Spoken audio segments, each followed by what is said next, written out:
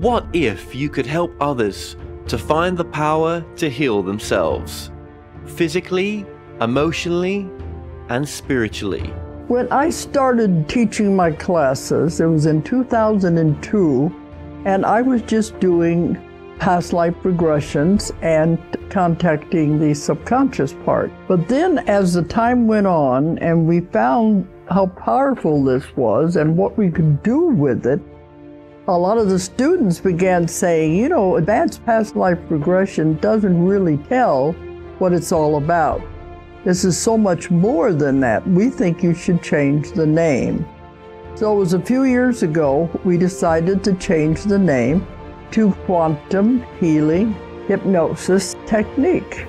Help other people to speak to their higher selves. You can. Dolores Cannon has taught thousands of people from across the world how to use QHHT. Now you can learn her method by going directly to themooreshow.com forward slash QHHT and don't forget to mention the discount coupon Moore Talks.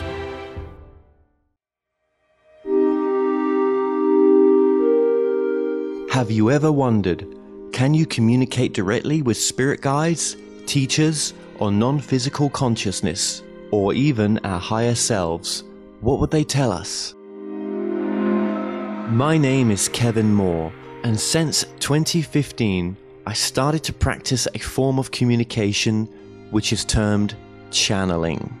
I have been interviewing experts on my talk show to find out does life continue after we die? And can we communicate with those that have crossed over? With each expert I spoke to, they all had different ideas. Is there knowledge from the past which could be shared with the present moment? So I thought, why not just speak to the non physical world directly through channelers around the world? And that's what I set out to do. They Call Us Channelers will take the viewers on a journey into the phenomena known as channeling.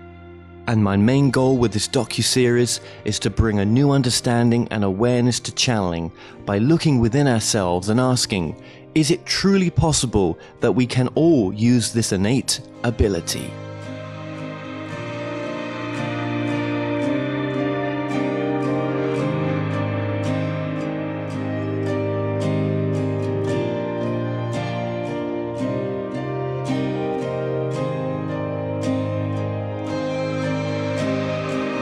Hi, my name is Jonathan Martin. I'm uh, an extraterrestrial channel. I'm um, now back in the UK after spending three and a half years in Peru, just arrived back.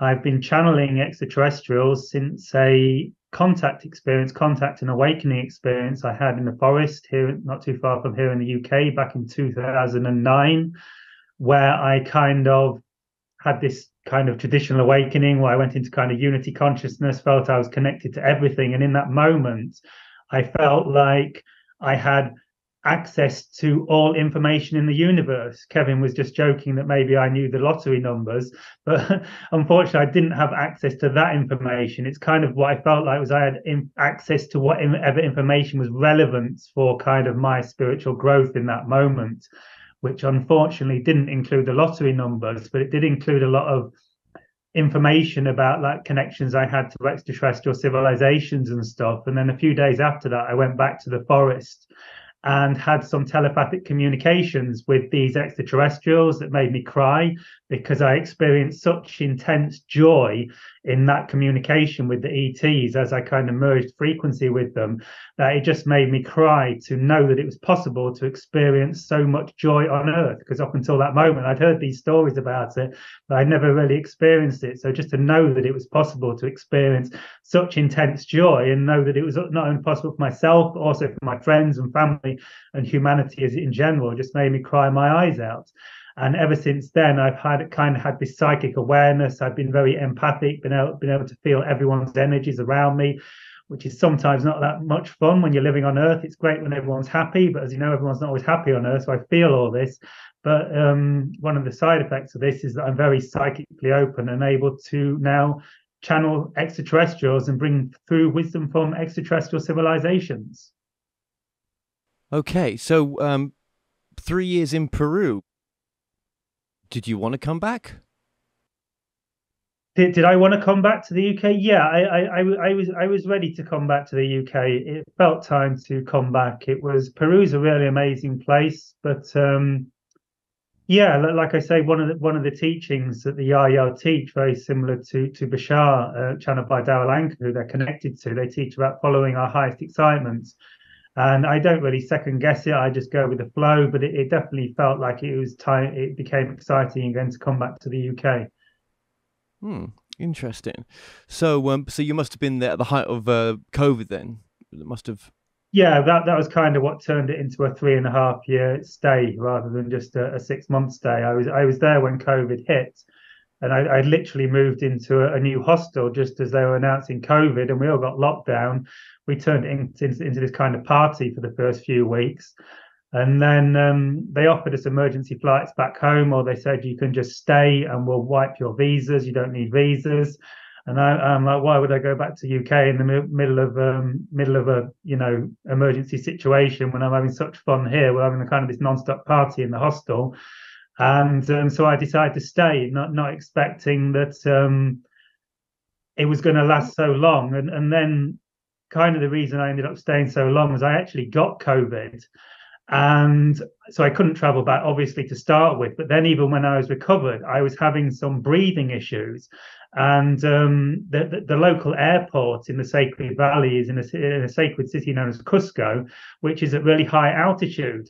And so I so I couldn't get to the airport because because I, I didn't dare go in any higher altitude than I was already at because I was having breathing issues. And it's like the, the airport's like 3,500 meters, which is well into the um, altitude sickness zone. So that kind of extended my stay a little bit longer than my excitement initially intended. But I actually ended up because of that going down into the lowest altitude place in the Sacred Valley, which was around 2,800 meters, um, because of this breathing issues. But it was actually a place called Ollantaytambo, which is all actually um, it's like a temple site built by what I believe was either beings from Atlantis or extraterrestrials. It's all like like these um, structures that are built like they're cut out with lasers and they're all slotted together without using mortar and they're built at incredibly high precision and I ended up staying in in this village, which officially is um, the only living Inca village, possibly in the world, but definitely in Peru.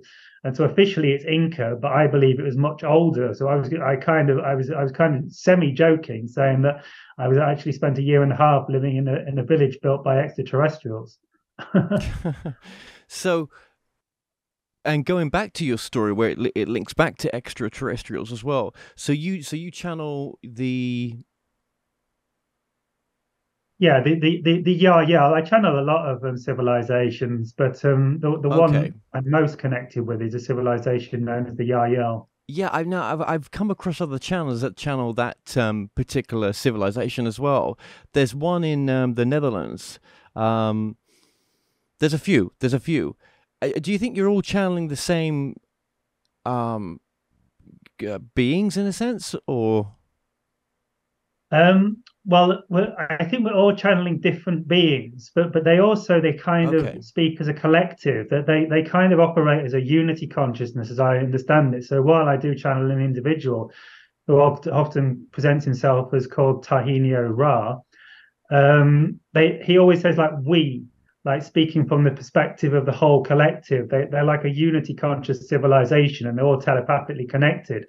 So while we all like channel like different beings, yeah, they, they kind of speak as one civilization. Okay, so thank you. So look, when you started to channel, or actually just before you started to channel, let's go back a little bit here, right? So was you in the best estate? Where was Jonathan at that at this point? Had he ever come across any channel material before? Um, just take us in, on that that journey just a little bit. Okay, so so how it all happened for me was round about 2007, 2008. I, I was not in a very good state, to be honest. I was going through a lot of uh, mental, emotional problems. I was going through some physical challenges, which, like a lot of us, started my spiritual journey. I was researching a lot of stuff. I initially got into conspiracy theories, um, which led me kind of down the rabbit hole of coming across ufology, which led me to the teachings of Dr. Steven Greer, who does what's this called this CE5 meditation, where you do this meditation to invite in extraterrestrial craft. And I start I started doing this meditation every day for about seven weeks. And after doing it for about seven weeks, actually here where, where I am, I'm back at my my mother's property in the UK. I'm just staying here at the minute, and uh, so this is where it started for me. So I did this meditation like every night for about seven weeks, which is designed to invite in extraterrestrial craft.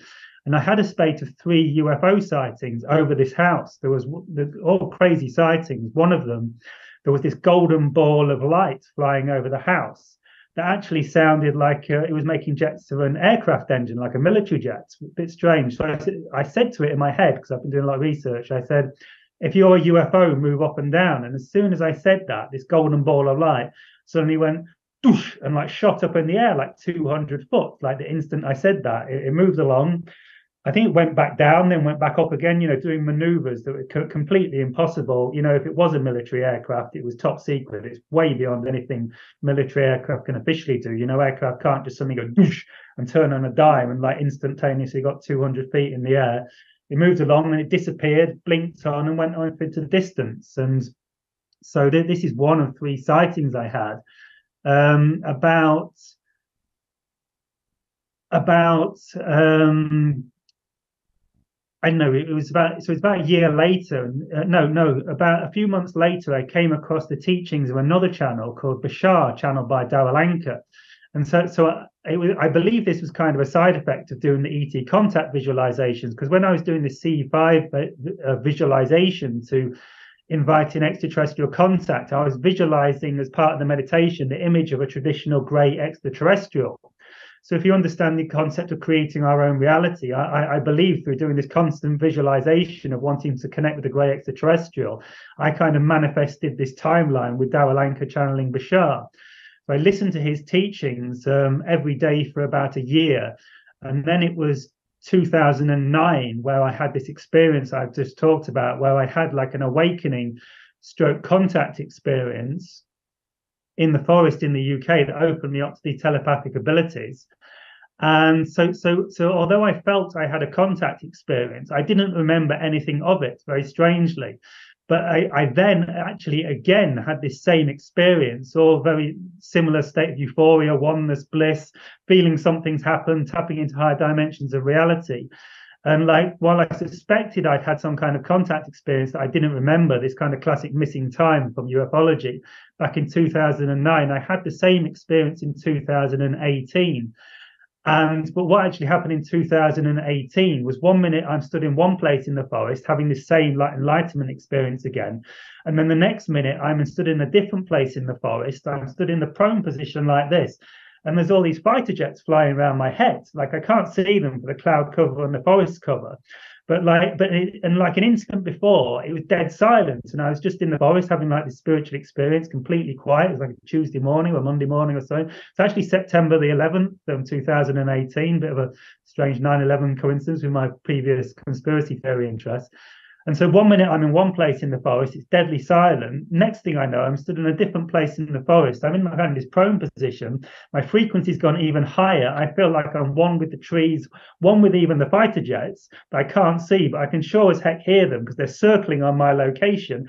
They're circling around, coming back on me, completely deafening. And like I'm kind of like, something's happened, something profound has happened here. I know this is to do, I know the reason these fighter jets are here because of me and but I didn't know what had happened. And then after a few seconds, perhaps 30 seconds or so, a minute, I, it kind of dawned on me. I came back because I was kind of like all dazed. I didn't know what had happened. And like, there's all these fighter jets there. And like, something's happened. Something amazing's happened. I know these fighter jets here because of me. And then after like a 30 seconds or a minute or so, it kind of dawned on me that I'd obviously had a contact experience because I've been into this and trying to make contact for so long. And obviously, the fighter jet, I'd had like this classic missing time. Any of your viewers who know about ufology, they might have heard about this thing called missing time. Um, like where, where, you're just in one place and then you're in another place. And like sometimes they, they talk about recalling the experience in um, hypnot, hypnotic regression. But actually, in um, about a week later in meditation, I actually started to have memories of what, what I experienced on that ship. And, and just as a side note, actually, 12 days after that, on the September equinox in 2018, I did a Facebook live stream, and um, the, the, the ships actually showed up on the live stream, and it's still available on my Facebook um, page. If you if you go to my Facebook page, Jonathan Trinity Martin, and look at look at this live stream video from September 2018, September 23rd, 2018, you can actually see the live stream where um, where I'm recording. And first of all, I think I see something out the corner of my eye, and then loads of owls start hooting everywhere. And there's a lot of stories about owls being connected to UFO sightings.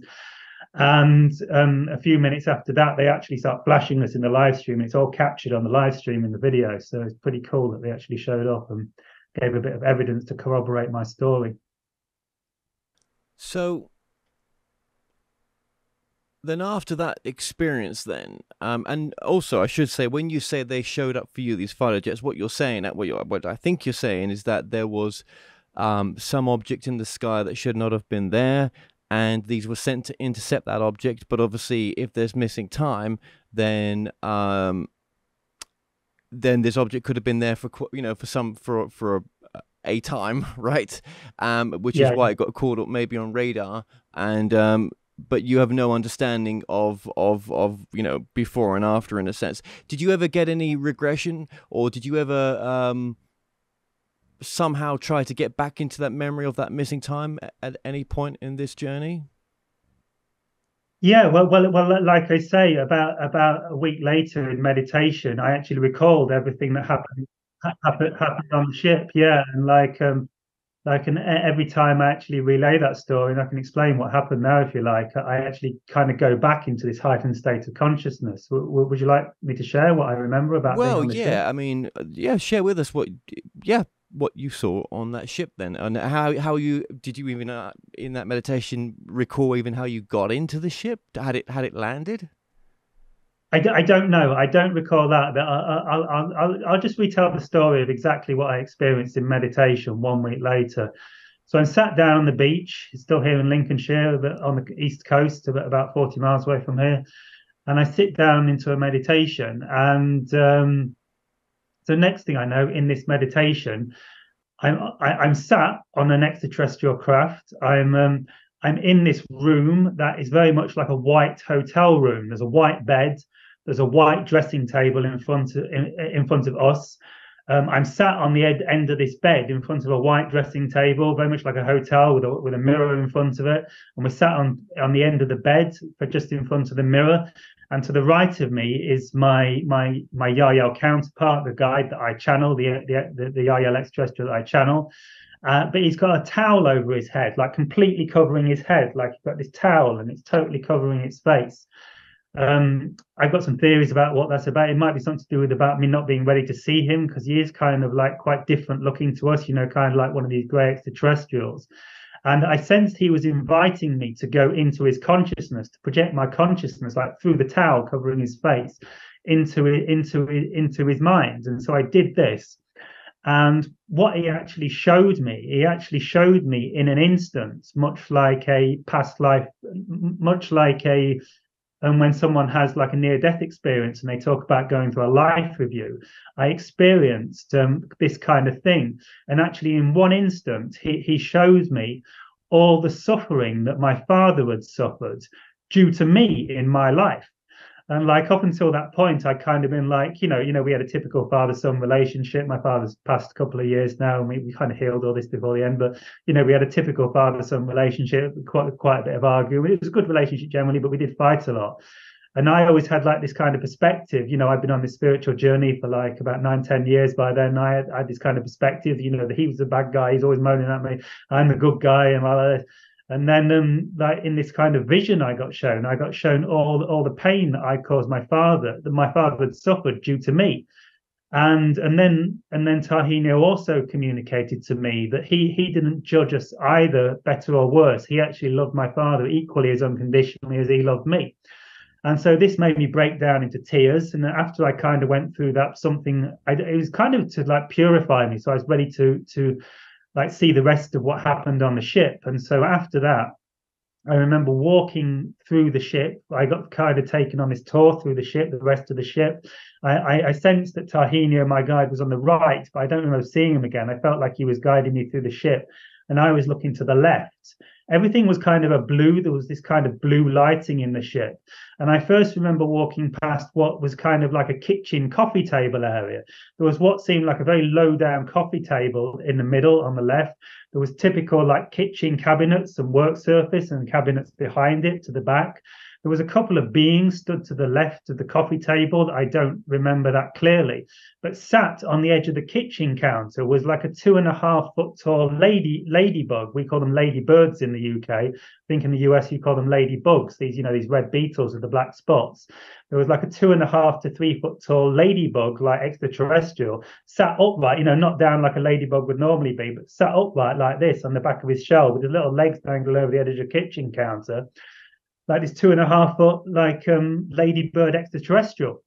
I remember very vividly. Then I remember what continuing to walk on through the ship. I came to another area in the ship.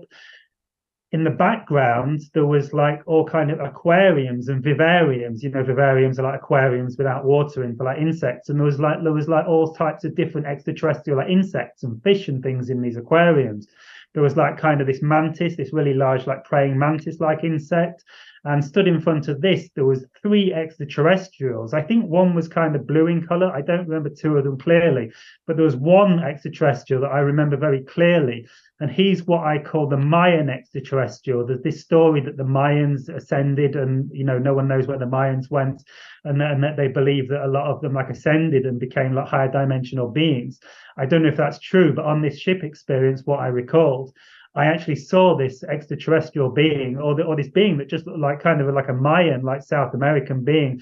He had a very wide head. He was perhaps a little bit shorter than me. He had kind of these sticky out pug ears, and he had like um, like a space helmet on. None of the other beings were wearing helmets, but from what I recall, um, but he had like a glass helmet on, which was like a glass bubble helmet. And I distinctly remember it because it had like a flange around it, like, like a lip in the middle with bolts going through, with like rivets holding these two glass hemispheres together around his head. And I remember thinking how strange it was because I seemed to be in such an advanced, like interdimensional starship and there there's there, there's this being with this space space helmet that seems to be like bolted together with like very rudimentary kind of human technology. So you know who knows? Maybe maybe he was just a South American guy who was like in communication with these ETs and like went on this, but I don't know what's going on. But but that that's basically what I um what I recalled in meditation, you know, and, and, people might say, well, that was just a vision in meditation. But of course, I had this experience, you know, in the forest like 12 days earlier. I've got this missing time. I've got I got very solid confirmation that something's happened by the fact that when I reawaken in the forest, my, my frequency has all gone multidimensional. I'm in bliss and euphoria. there's all these fighter jets everywhere. And then um, and then on the equinox day, 12 days later, they actually turn up on the Facebook live stream and start flashing us. How much missing time do you think there was? I have no idea. I honestly have no idea. No idea. I, I could probably work it out actually because um, because after the after the experience, I, I, felt like I couldn't find the way out the forest for like one to two hours and then when I got out, I was kind of I was kind of freaked out, obviously, because these fighter jets. They, I was wandering around the forest trying to like process what had happened. Couldn't find the footpath, even though it's only a small forest. It was very strange. And like every 15, and the fighter jets would fly off. Then every 15 minutes or so, they'd come down like circle around above my head. I don't know if they could see me through the cloud cover. Maybe they had infrared scanning on or something. Maybe they were what's scanning me.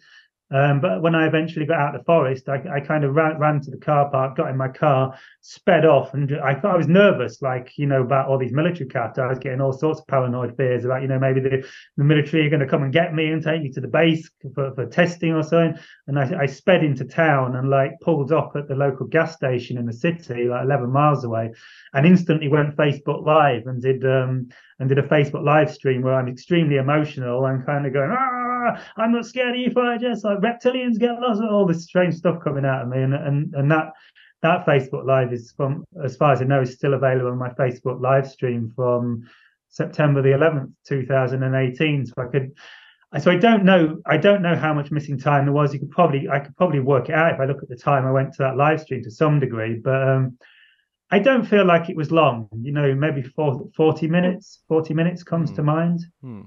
Okay, okay. So, and the experience that you think that you record on the ship, again, um, nothing. Um, well, I, I don't know. Yeah, I mean, from what you're explaining, it sounds like um,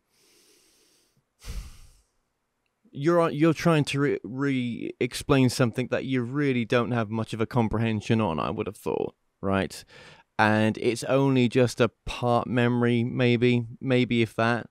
And um, yeah, you, you're seeing things that um, you've got no reference to, right?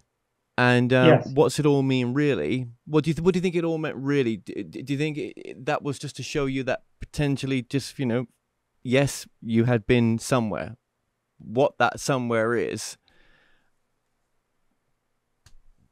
you know, Yeah, I, I- mean that's a super super interesting question because kind of what it feels like to me, it, it, it kind of feels like like I died, went to another dimension, and then got reinserted in physical reality. It's very very strange. I mean, obviously I didn't. I I, I don't know. I mean, what is death? That opens up that question. But like it, like you know, you hear about people having these near death experiences, like going to another kind of plane of existence and then coming back to Earth you know that's perhaps the closest reference point i could put it to you know. It, it, felt like another dimension of reality. That's the best way i can experience it. You, you know when you read the Seth books and they're just the Seth books it does, you know I mean I can't take them they're not the gospel right? But they're pretty good. And you know they, they talk about the whole UFO phenomena you know it's, um, that it's just way beyond our comprehension way beyond our understanding and we're still trying to sort our individual selves out you know let alone you know the UFO question you know and actually the Seth books say just you know forget the UFO stuff you've got too much stuff to work on yourself on. Do you know what I mean? Um, and um, yeah, how how far have we come with the UFO stuff? Not that far. I don't think disclosure is ever going to happen in our lifetime. If the next hundred years or much, much, much, much more. But then that's that's my take on it, and we can ask that when uh, when we channel that question about disclosure. What do you think? um Or am I just being a negative, Nancy? I, I, I, I'm, I'm, I'm always um, the, the, you know, the optimist. I- I do feel like disclosure's gonna. I, I feel like we're on the, you know, it's almost happening now. You know, the, the CIA are talked about talking about, yeah, it. Yeah, They're, they're, they're, they're, they're admitting that UFOs are real. That they're, they've Yeah. almost said that you know but they're they still don't know what they are. They haven't got a Yeah. Scooby Doo. They've not a clue what this is. And are we really reverse engineering it? I think so, probably. I doubt I, it. think- I doubt it. If we've got technology like that, even from the Roswell, do we even understand the Roswell technology? If we've still even got it, do we barely have we barely scratched the surface and reverse engineered it? Barely. You know what I mean? When something's so far out of your reality, um, you know, Yeah, I, yeah. I mean, I, I don't know for sure. I, I, I, I do tend to believe in you know the Bob Lazar story. I do, I do believe he's telling the truth. I, I don't know if they're advanced as what some people think they are. Um, you know, there, there's a lot of don't knows. I, I do think some segments in, in, in the in the military know a lot more than they're letting on. I, I you know, it, it's so kind of obvious. You know, you know, if, if I know this much, you know, you know, you know, I can't believe that the like the like the deep in industrial complex would be so ignorant. You know, I find it hard to believe that I would know so much more than, than people in the in in certain segments in the military. well, but think about it though. I mean, they're there to protect our skies. You know, they're not UFO enthusiasts. Yeah, I agree, and I, I think generally that they don't know that much, but I do I do think there's segments in in the um, in the military who know a lot about what's going on. When did Vice News come into your story? When did that come into your journey? Um, ooh, I, I'm not sure on the exact timeline. I, I, I think it was um, well, was it like about six years ago? I did that Vice interview. I, I don't know the date on it. it. it. must be on my YouTube channel, but they contacted me about a year before that. They were doing a different series, and they, but I, I, never got invited on that original series. But then about a year later, they were doing this other series, and they and then I went on that, and they just they I'd never heard of Vice at the time. Um, they, they were just like we're a media company, and um, I just kind of trust my instincts. You know, um, I looked them up. I saw they were quite big. I thought, you know, I, I knew there was a chance they were gonna gonna like make me look a bit ridiculous, but I thought this is, you know, such a powerful message that I I, I trusted my instincts. And well, what, what, did it do for you? What did it do for you? What did that, uh, uh, you know, now you look back, what did that do for you personally, and also for the work that you're doing as well? Um, Yeah, I, I mean, it didn't. I don't think it, it. It didn't have a huge impact on me. I mean, they, they said when I did the interview they were gonna they were gonna because in the interview I shared my website and and like um but they cut it out. So it's so if I'd have you know had the opportunity to share my website address in front of all those million, you know, probably got 10 million views altogether. You know, I, I think I'd have gone exploded. But they cut out like they, they never shared any information about my website. But quite a few people like so looked me up and um, you know i got a couple of hundred extra subscribers to my youtube channel at the time but but over the years like i i, I get people like um, I, am always getting people saying the first time I saw you was on Vice. You know, I'm getting clients come to me now, like six years later, saying I first found you on Vice. I um I did another interview just on Sunday a lady who's just started doing podcasts, and she said, you know, she first found me on Vice. So I got, I got, um, you know, I, got, I, I did get, you know, I, I got interviewed on a mainstream Australian, uh, like Sydney's, I think, like number one radio show or something, the Kyle and Jackie O show.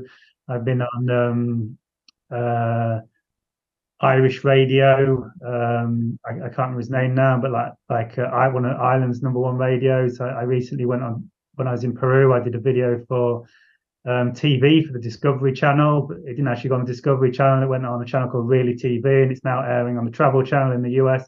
But I think a lot of this came from that Vice, from that original Vice interview. So um, interesting. Okay, so there was a there was good things about it, and sort of maybe sometimes, you know, yes, they didn't make you look the the best. I mean, but I yeah. suppose that's part of your journey, though, isn't it? You know, it's for you to not give a shit, really and you know to be able to move past that and to still continue doing your work right? And um and also yeah for some for for the exposure that it still gives you. Yeah yeah. I mean um yeah like like like i say like like I, my guides the Yahyel teach to follow your highest excitement. So so that's all i'm really doing you know I, I, I'm I'm I'm passionate about extraterrestrial contact. It's what I love. You know, I've always been fascinated by it. I, I was, um, you know, back in the day when I was into conspiracy theories. You know, I, I ate up every do- documentary on UFOs and, and and contacts. You know, it's um, it's a fascinating thing. It's but but to me, it's like the most. You know, ultimately, I'm on this spiritual path, and I'm really going diving within. You know, on the path of self realization, but but aside from that out in the world of phenomena you know this is this is the most interesting thing to me in in the in the material world okay okay is there any sort of books on the horizon do you think is there any what what's any sort of future projects that you're thinking of doing I've um I've been writing a book on and off for years, like like about all my experiences. I've had so many like crazy experiences. Like I was telling on this interview, the other day how like when I had this contact experiences experience I, I got par- I got paranoid that the military were coming to get me in the first experience into that because there was like military craft involved in that in 2009 again. And and I like um I like kind of asked my my inner intuition like what should I do? Because I was worried the military were coming for me. I'd been smoking a bit of pot before it. I think it caused a lot of paranoia.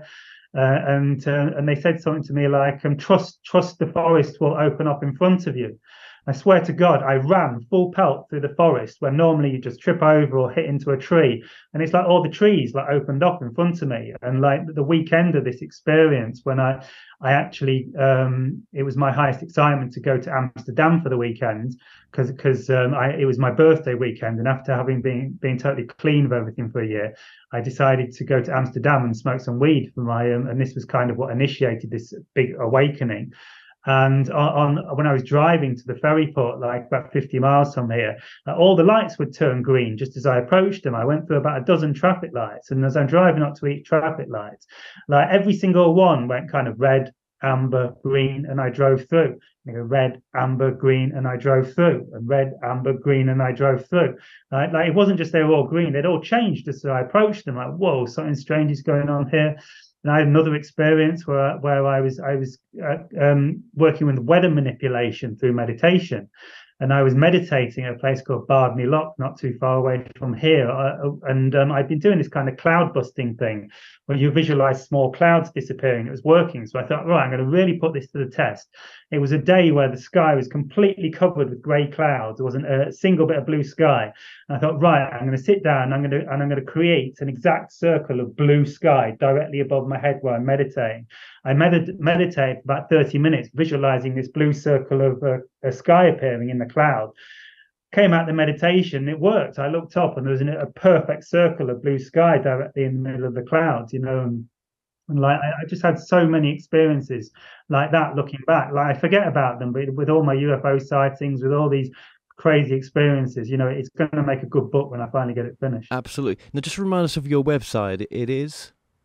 Uh, jonathantrinity.com. Okay. Now on there, you offer. Well, well, tell us what you offer on there, actually.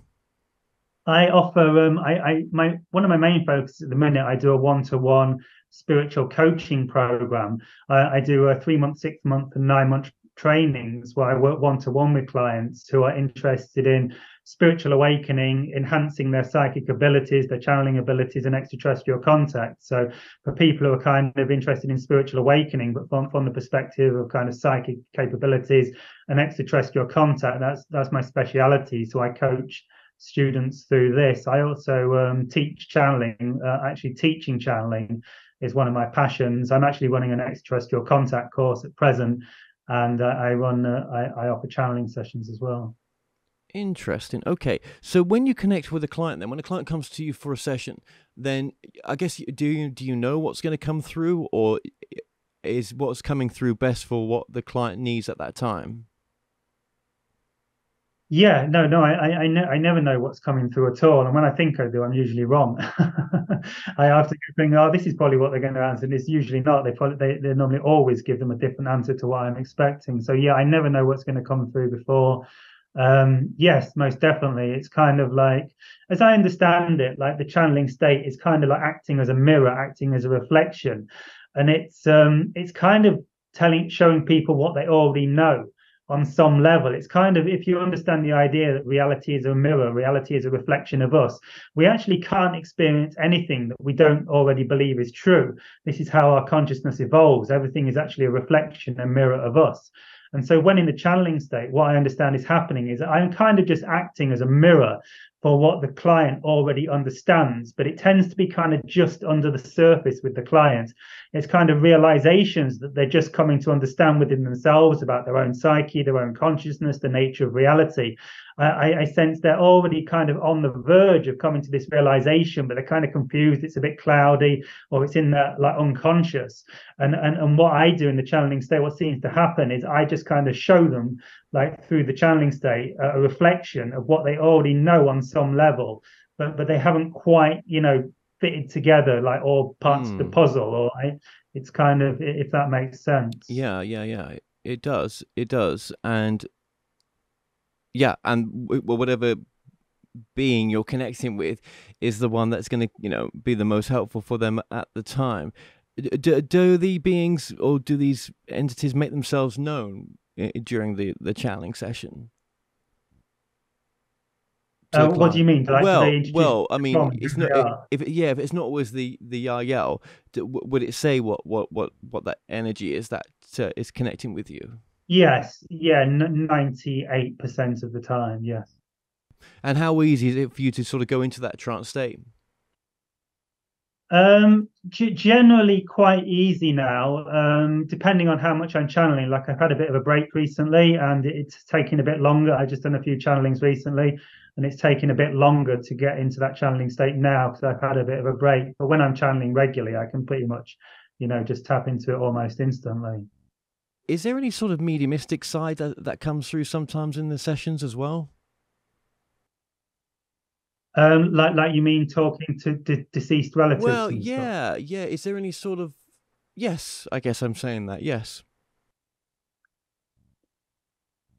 R- rarely, it's not really my thing. Um, you know, my, my father passed a couple of years ago, and you know, I, I have connected into him, and um, I, I, remember a, a family member's um, their, their mother's funeral. Um, I was at the funeral and everyone was stood around the coffin. And um, and you know, and the coffin, the crematorium goes behind behind the curtains and disappears to be burnt away. And at that point, everyone turns away and walks away from the coffin. And I could hear the lady who had deceased, you know, my, my family member's mother, saying, Jonathan, Jonathan, they're all leaving. Where are they going? Where are they going? Where are they going? She was freaking out because because she was fine because she she's her consciousness is still sort of centered around the coffin. Um, I'm guessing something like that. And then everyone stood around the coffin.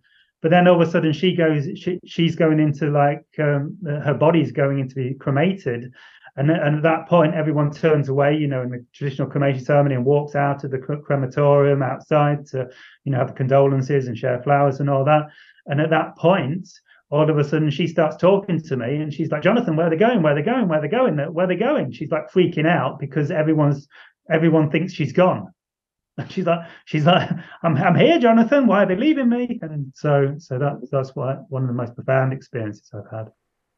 Wow. Okay, but nothing nothing more than that. That was probably yeah, one one of very it's few. It's not common for me. It's always yeah. been more of my excitement to connect with, like like like you know my, my theory has kind of been you know why, why would i want to connect with humans you know there's, there's seven billion humans on this planet and they're mostly boring and unintelligent generally you know when, when i can connect with these higher dimensional beings that have all this wisdom and they're really high frequency you know it's just, it's just not interesting for me to connect with humans you know I have to talk to humans every day. right, right, yes, yes, that's uh, yes. Why not? That's that's right. Um, Okay, well, uh, if you want to, we could just do a, a little bit of channeling. Um, I'm sure I've got some questions that I think um, might be interesting.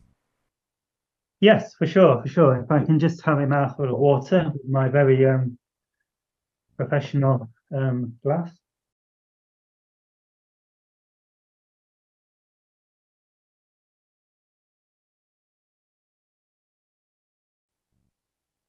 Smaller than in Peru. They're, five liter bottles in the UK. In Peru, there were seven liter bottles. So wow, that's a big bottle. a bit like an American bottle, yeah. Um, well, if you just talk the audience through just what your process is as you start to connect, then yeah, what is that process?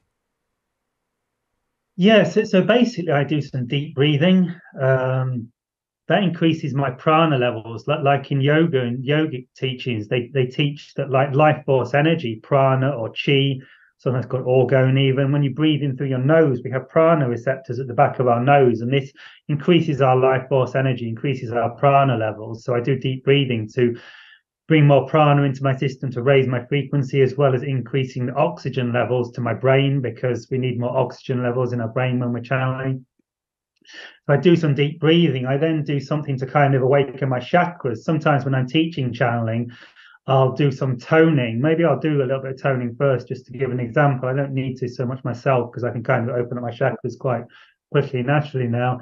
And then I'll recall the um, the experience of being on the Yahyel ship I used to do it differently to that before 2018, but it's just a real easy way for me to connect in with their frequency because as soon as I think about that experience that I just told you, um, being on the Yahyel ship, it instantly like my consciousness goes, I'm, I'm connected. So so that's basically the process I go through, and then And then when someone asks you questions, it actually creates a grounding circuit. I, I, teach when I teach in channeling, I say you should always get someone to sit in front of you and ask you questions because it kind of creates like a grounding system, like an electrical circuit. It's like you've got the higher entity up here, you know, just just you know, symbolically, they're not necessarily up there, but you kind of got the higher entity up here. You've got me in the middle, then you got the got the questioner here, and it kind of pulls information through me, kind of like a grounding or an earth wire, an electrical circuit, pulling energy into the ground. So, um, so that's generally my process. Okay. Okay. Interesting. Hmm. All right. So I'll just let you connect and um, yeah, Okay, so I'll start with a little bit of toning then to um, just to give an example of it. Because basically, I tone to the frequency of each chakra. We've got the root, sacral, solar plexus, heart, throat, third eye, and crown chakra. And when we open up all our chakras, particularly the heart, throat, third eye, and crown, we're opening up our access into the higher dimensions. That the crown chakra directly connects us to infinity. The third eye chakra connects us to kind of the wisdom contained in infinity and the throat chakra allows me to express it and the heart chakra connects me to the infinite love of creation. And so when i'm connected with these four chakras this this is how i access the channeling state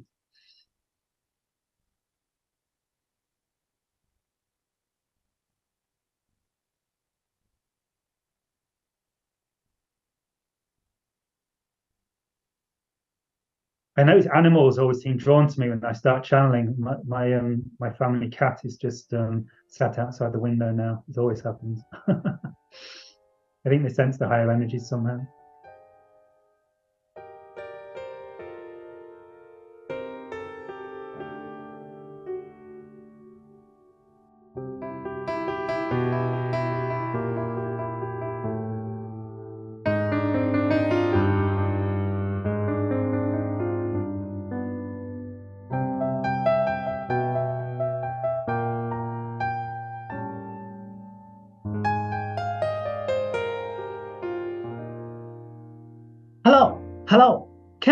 Kevin. Good day. Hello. Hello, Earth. Hello. Hello, YouTube. Hello, Podcast Network. Hello, welcome. Welcome to this pitch, this frequency, this dimension of reality. I am Tahini of the Yahyel. Do you have questions for us at this time, Kevin? I think so. Yeah. I mean, I think my first question is going to be um, uh, with Jonathan and his recollection of the um, of what he thinks was his experience on board a craft, and um, was was he recalling there, you know, parts of a recollection of a um, well, would you call it an abduction? Well, you could term it an abduction. He didn't see it coming. He had for some years been trying to initiate contact with us. He was reaching out to us to have the contact experience, but we kind of grabbed him when he was least expecting it, so we didn't get too nervous. So, would you call that an abduction, perhaps? What is what is his connection with those uh, that created that craft or the, the the race behind all this? What is his karmic connection?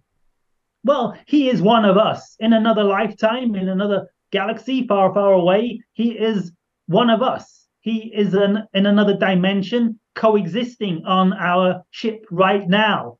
For he is actually me. I am him. He is us. We are both of the same soul construct. Okay, so are you a future version of us? Are you um Yes. So you're coming from the future into what we would class as now, and for what purpose? Well, for the purpose of being a mirror, much like the channel explained, we are we are merely mirrors of perhaps your greater potential, mirrors of perhaps where your civilization is going. All of you in your hearts know there is something better destined for this world, something better destined for this plane. At present, you are going through a lot of strife, a lot of chaos, a lot of suffering in your reality. And all of you, on some level, know that something is deeply, deeply wrong with your world, but you do not quite understand it you cannot quite hit the nail on the head much in your matrix movie they say you say you all understand there is something wrong there is something not quite right with your world but you do not know what it is but on some level of your being you do all the love is missing, all the love is gone, all the higher guidance is dissolved, God has been lost, God is dead, as one of your famous philosophers once said. Of course, God is not truly dead. God is omnipresent and ever here. And this is really what we are here to reflect back to you the idea that God is you, God is source, God is here and always an omnipresence. And the idea of omnipresence means that God exists in all things, and therefore God is you and God is me, and we are all God. Amen. Yeah. Um, so by you connecting to this moment in in um, time right now, what what is that actually doing to you in the future? Then I. Well, there really is no future. Linearly speaking, you are having the experience of time on Earth, but time is really germane only to your dimension and a few other dimensions in reality. Time does not exist within our plane. For if time really existed and we were really 700 to 1000 years in your future, we would not be able to communicate with you because we would be in the future, you would be in the past.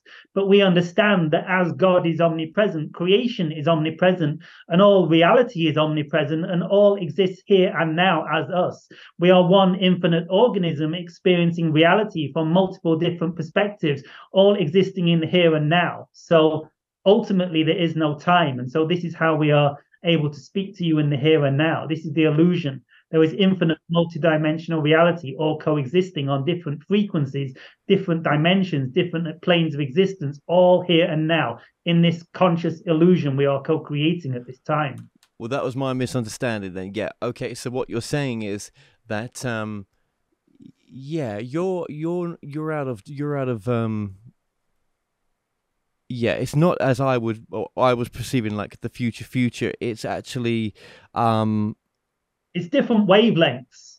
Yeah, this is some other yeah wavelength or. I mean, I don't We're another wavelength, another frequency of your own consciousness that you are not aware with because you are not fully tuned to our frequency. However, in this moment, you are beginning to tune your wavelength to our frequency and beginning to perceive our reality. You can maybe even notice a slight adjustment in your state of being, in the frequency you feel within yourself at this time.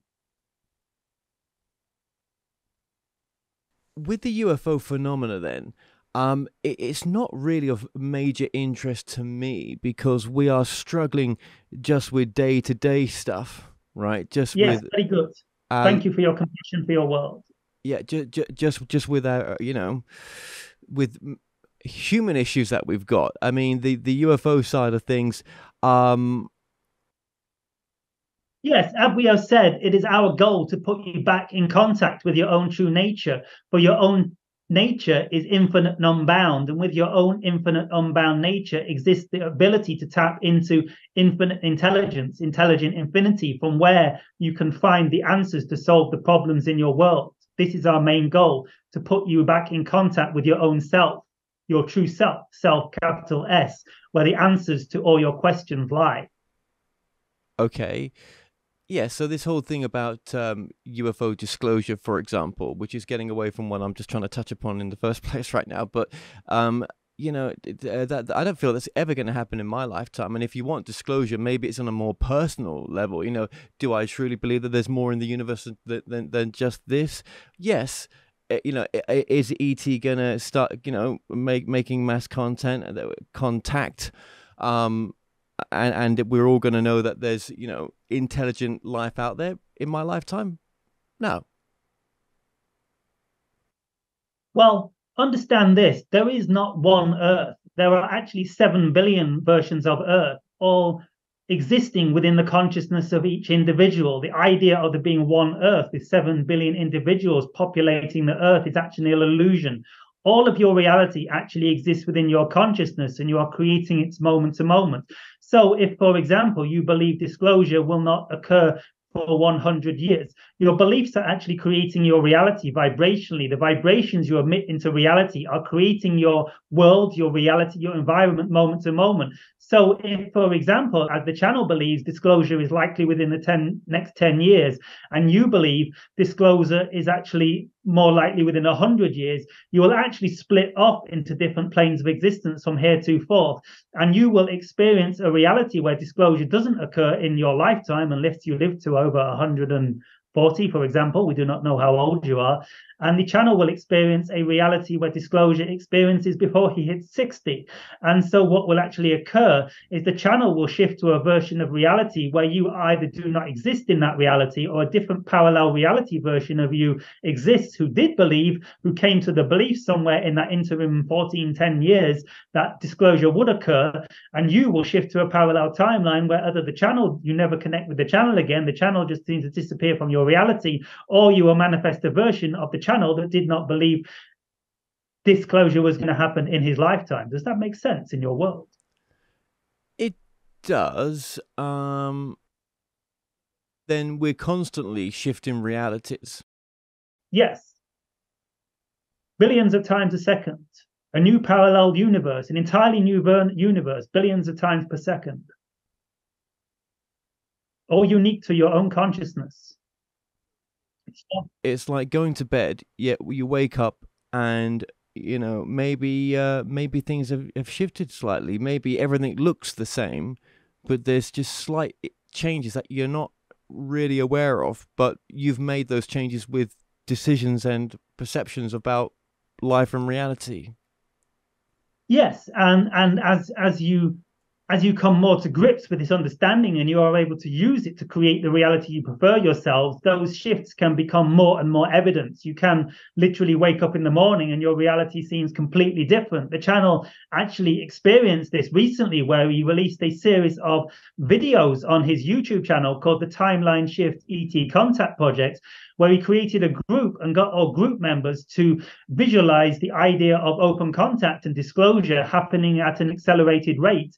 He ran this pro this project just around three months ago, just before he left Peru. And lo and behold, on returning to the UK a few weeks later, everyone was talking about disclosure. A NASA panel had been created with a group of several scientists to look into the idea of UFO phenomena. There were disclosure talks live being broadcast on Congress.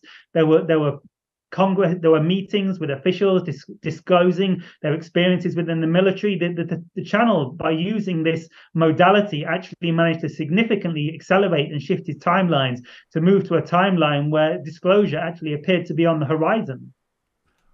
But when we talk about shifting realities and 7 billion other Earths out there or more, you know that we can which our consciousness shifts to not the human body right um i'm guessing that's what you mean. That that uh... so the human so your, your your body is a projection of your consciousness. Your your body is contained within the shift. You are actually non-physical consciousness infinite consciousness projecting billions of different physical bodies every second. So your, your body is within the projection. Your body was in the shift. You are not within the body. Your body is within you. Well, I want to I want to get to the body where I've got my abs and I've not had to do much work for them. But um, uh, yeah, okay. So now it's possible. It's truly possible if you believe it. Oh, it, it will be possible because I, I yeah, but it, only if uh, if I'm going to work out, right? I I I. Well, not necessarily, because your beliefs create your reality.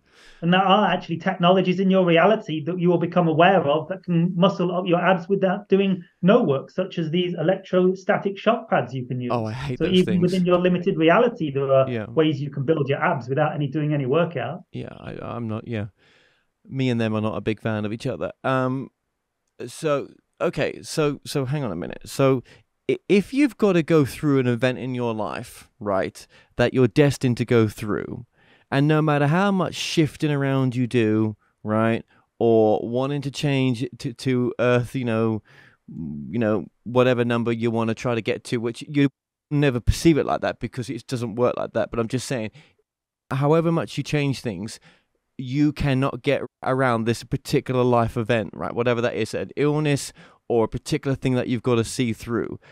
Sometimes we're destined, aren't we, on this path to to go through this particular thing, regardless of how much we you know we think we're shifting around? Well, yes and no. Ultimately, you create your reality, so no. But the idea is you're creating your reality in time, in tandem with your soul, in tandem with your higher consciousness.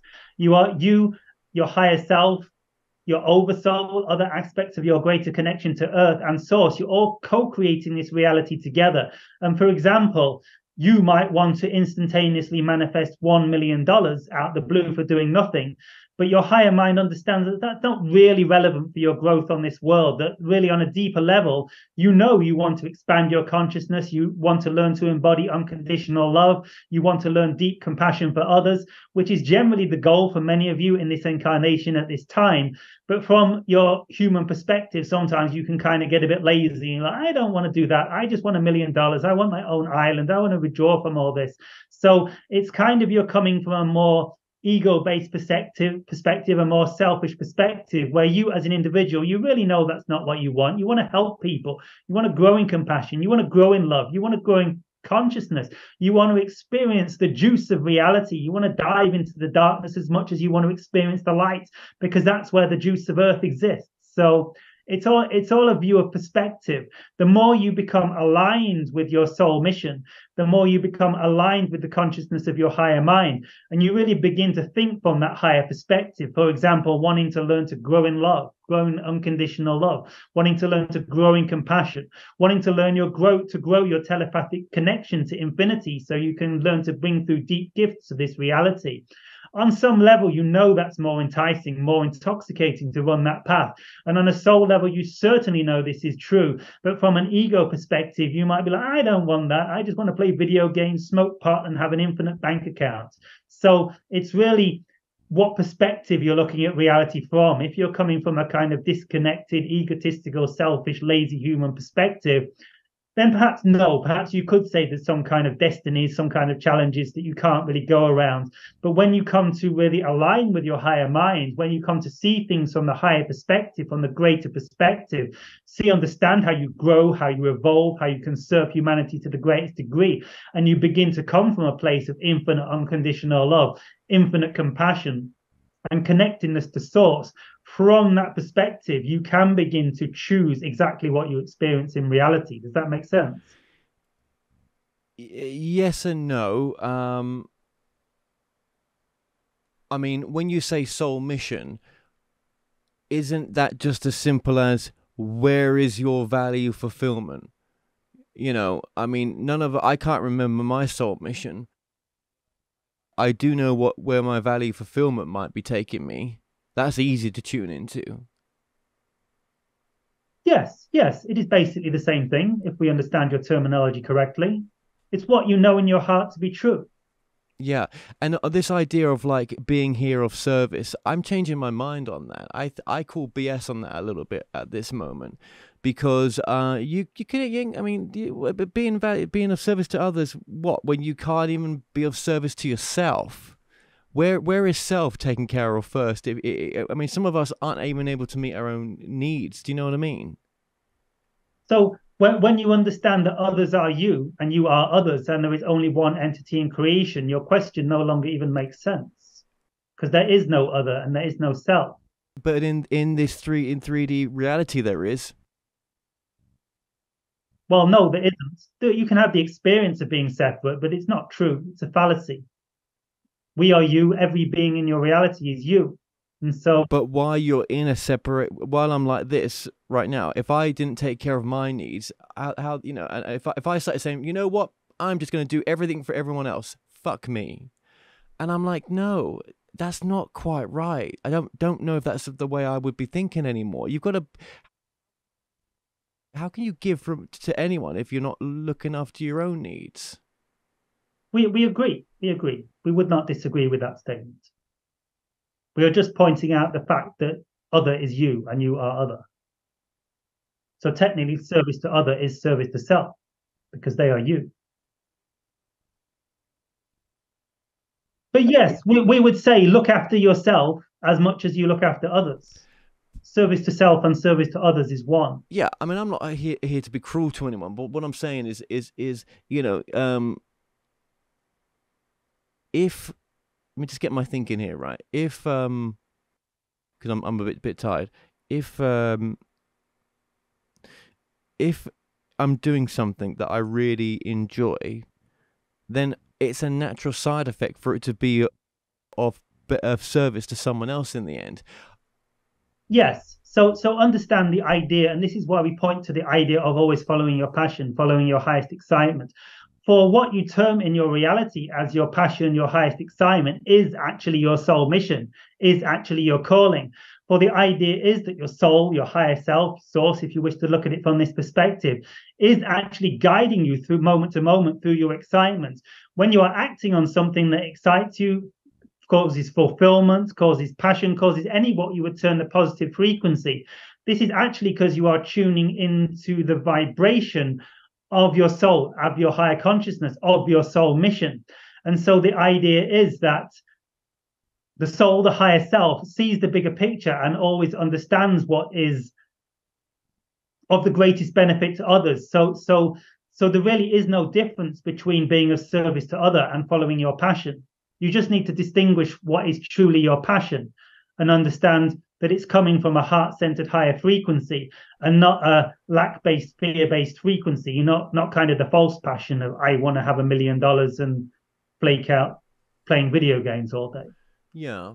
Um, w- what if someone's passion though is to you know to to ha- um, uh, experience wealth experience you know one one the passion of wealth the passion of um it could be it, it's up to you. The, the secret is to choose. There is no one right and wrong for any individual. It may be some person's true path to experience the idea of wealth so they can bring the idea of abundance to reality. So the idea is tuning is ultimately defining between excitement and fear. If it's coming from fear it's out of alignment and it's not of service to the whole, if it's coming from passion, joy, true passion, joy, and excitement, it is of the higher frequency and is of service to the whole. So you've got to determine why you would want to flake out, smoke pot, and play video games all day. Is it truly your highest excitement, or is it kind of coming from a kind of fear of embracing reality for the highest, most accelerative rate you can? It's it's on an individual basis. Yes, and and uh, you know we so easily judge others, but you know, um, yeah, um, we don't know quite where they're coming from sometimes. Yeah. Um, am, am I speaking to like a group right now? Is is this a group energy in a sense? Yes. We do we do not really understand the idea of separation it makes no sense in in our perspective of reality. It is hard to say I am an individual. Individual from what? You we could I could say I am an individual, but that individual contains everyone and everything. The idea of one and one being the same thing. One, I, am I am one, but I am one. Right. This idea of uh, disclosure, right? Um, is that is that going to stop? Um, what is that? Uh, is that going to stop us going down a destructive path? Because I, I, I'm not so so sure if it's going to. not necessarily. Not necessarily. It doesn't guarantee anything. No. I mean, you would have thought, wouldn't you, that if there was some sort of disclosure that was highly ultra intelligent life out there, but I mean, if there is disclosure, what what is it disclosure of? Because are these are these uh, are these things that we see in the sky actually of this dimension or of this string uh, of of of this shared universe? Because i it seems to me that there's something that's beyond our understanding. So what is the disclosure of that there's other dimension there's i mean what you know do you know what i mean? I mean i, I mean you've got people well, like Steven Greer that think they're going to get free energy. And i think the only th- th- th- the thing that Steven's done is is made his bank account bigger personally.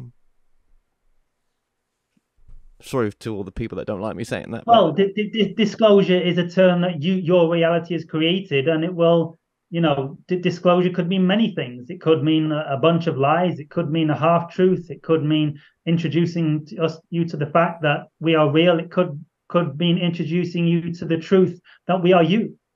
But to what point? I mean, are we? I mean, I mean you're not going to give us the whatever, whatever's. Say there's some disclosure. I mean, they're not going to say, well, you know, here's the blueprints for free energy devices and everything else. You know, kumbaya, everything's great now, and um, you know, you know, we'll, we'll disclose all all our technology. I just don't think that that's in our um It, it, no, no, no, not not not while there are still so many governors of your world involved in the idea of war and domination. It would be not it would not be safe to us to give you these technologies. It would be like giving the children the matchboxes. Well, yeah, I mean, um, which is what uh, the creation of the nuclear, um, um, you know, um, bomb sort of gave us in a sense, um, and look what we did with it. Um, yeah, well, look, well, look, look how many there are right now. Do you know what I mean? which is uh, not good. So disclosure would would mean it, well, I guess what you're saying it, it it wouldn't mean much except that for some of us it might bring about some sort of spiritual shift to know that there is something much much more but it wouldn't be um, okay now we've got flying cars and everything else. It's, it's something much different to that. Yes it would initially be a shift in consciousness that would hopefully and this is why we are playing things very cagily and making sure we come through at exactly the right timing it would cause a shift in consciousness that would hopefully and we sense you are moving in this direction slowly but surely, would hopefully and most likely shift you to the idea of unconditional love and the realization that you are all one.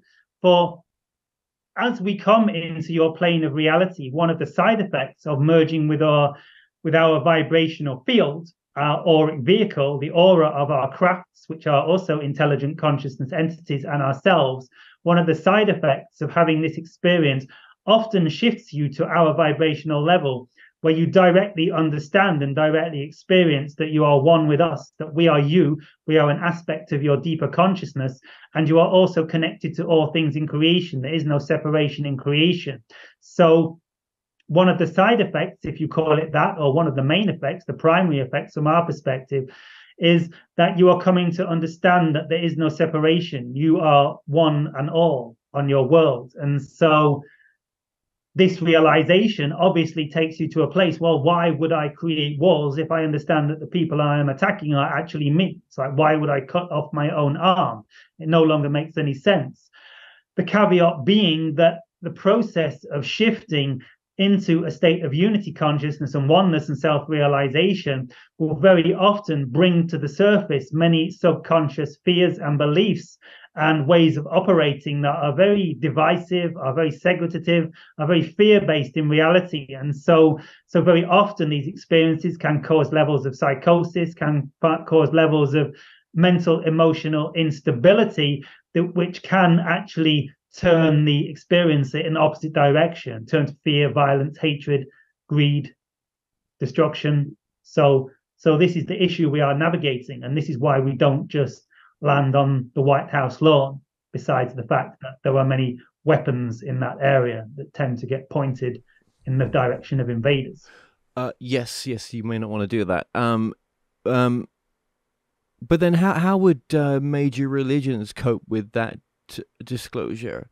Because the, I I don't know. Is there the space in their religious texts to to expand? Um, in in the depth, in the core of those religions, yes all major religions are pointing you back to the idea of unity consciousness, of the true nature, of heaven within, of the true self, of oneness. However, there is much overlay on dogma that has evolved over the years, and this is where the problem relies. So, so yes, if those religions can be stripped back to their core essential teachings through the introduction of our wisdom and our perspective, they would survive. They would grow and expand, but ultimately merge and become perhaps one what you may call religion, but more one we would call scientific understanding of the physics of creation, which is all the core of religion is. So an understanding of deeper science behind the metaphysics of reality.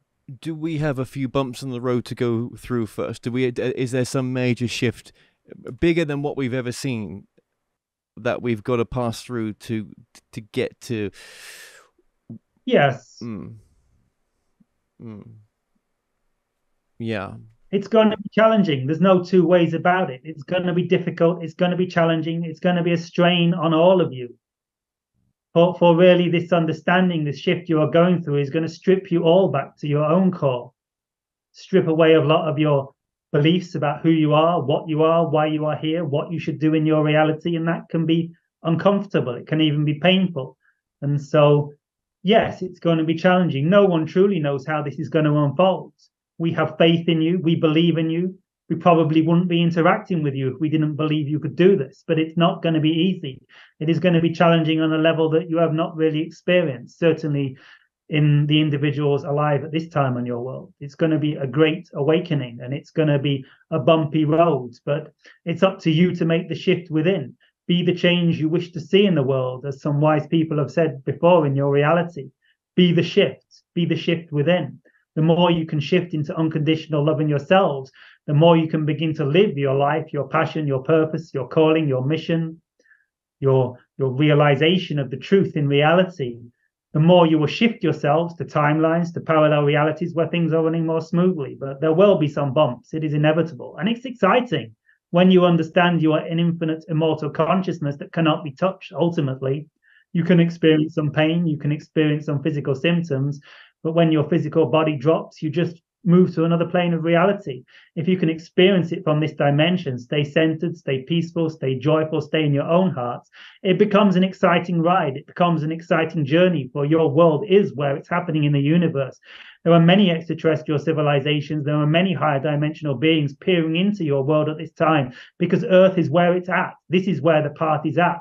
There are very few places in reality at this time, as we understand it, that are experiencing such a shift from the darkness into the light, from the polarity of separation, of greed, fear, anger, disconnection, worry, into the polarity of connection, oneness, unity, unconditional love, compassion, service to other and self simultaneously in the knowing that you are all one this shift is where it's happening within your universe, within this reality. And this is why there is so much extraterrestrial activity accelerating in your world because everyone wants to watch the party, everyone wants to watch the journey of unfolding, and you have the front row seats. You are where it's at. Incarnations are prime desire in creation to incarnate on your world. This is one of the reasons your world is so highly populated at this time, because every soul in creation wants to be on earth. This is where the party's at. It can feel uncomfortable. It can feel terrible at sometimes we understand, but this is where it's happening. There are few places in creation at all that are experiencing the, this kind of pivotal point of existence of the coexistence of such darkness and light simultaneously and the opportunity to transcend it into a whole new world. This is where the party's at. This is where the blockbuster movie is happening, and you all have front row seats. So we just suggest you sit back, relax, get your popcorn out, and enjoy the journey for what it is. For for when you leave this world, you will see what a gift it was to be able to experience this for your own growth, for your own acceleration as souls, and for the understanding of how you can be of greater service to the evolution of the universe and creation as a whole. Amen. Well, I just want to thank you so, so much for uh, what you've had to say there, and I'll let uh, Jonathan come back in. But thank you very much for connecting and giving us that um, that that time. Thank you. Well, thank you, Kevin. We hope we woke you up and we speak on more levels than one with that statement, and we shall see you in another now. Shivai, peace, love, light. Amen. To you all. Good day.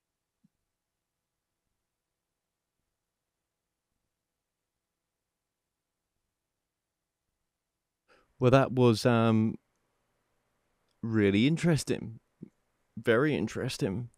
Um, thank you, thank you. I, am glad you. I'm glad you found it interesting. Yeah, um, I wasn't expecting that. yeah, yeah. Me neither. No, um, that was good. That was really good, and I'm sure that that others will find that uh, helpful as well. Jonathan, just remind us of your website one last time as well before we go. Yeah, it's jonathantrinity.com. It's uh, J O N A T H A N T R I N I T Y.com, jonathantrinity.com. And you can also find all my social media platforms. Uh, Jonathan Trinity Martin, that, that's the name I'm currently using on Earth.